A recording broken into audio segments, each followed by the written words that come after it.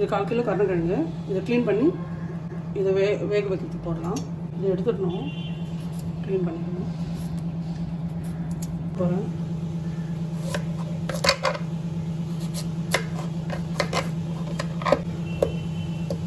நான் வந்து இந்த சைஸ் இப்போ காட்டுறேன் பாருங்க.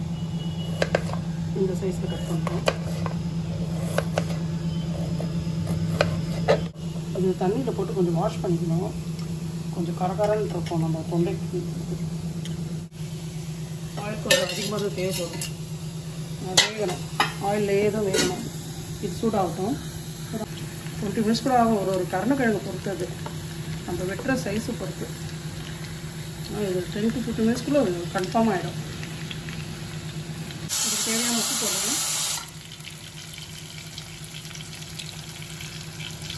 இப்போ நான் ஃபஸ்ட்டு உப்பு மட்டும்தான் போட்டு வேக வச்சேன் கொஞ்ச நேரம் போட்டு ஒரு டென் மினிட்ஸ் கழிச்சு தான் நான் காரம் மிளகாத்தூளும் மஞ்சள் தூளும் போடுவேன். ஏன்னா அது வந்து ரொம்ப தீஞ்ச மாதிரி ஆகிடும் ஃபஸ்ட்டே போட்டிங்கன்னா. ஸோ இப்போ இதை நல்லா கிளறிட்டு மூடி வைக்கணும். நல்லா கிளறி விட்டாச்சு. இப்போ நான் இதை க்ளோஸ் பண்ணி வைக்கணும். வேகிறதுக்காக. இதை இப்படி க்ளோஸ் பண்ணி வைக்கிறேன். ஒரு ஃபைவ் டு டென் மினிட்ஸ் இது இதிலே வேகணும். அப்புறம் தான் மஞ்சள் தூள் மிளகாத்தூள் போகணும் மஞ்சள் தூள் மிளகாத்தூள் ஒரு ரெண்டரை ஸ்பூன் ரெண்டே கால் ஸ்பூன் போதும். ஒரு வாட்டி. மேக்ஸிமம் முக்கால்வாசி வெந்துடுச்சு இது. இப்போ ஒரு கிணறு கிளறிட்டு இது மீதி இருக்கிற எண்ணெய் கூட நம்ம வேறு எதுக்காச்சும் யூஸ் பண்ணிக்கலாம். வேஸ்ட் ஆகும்.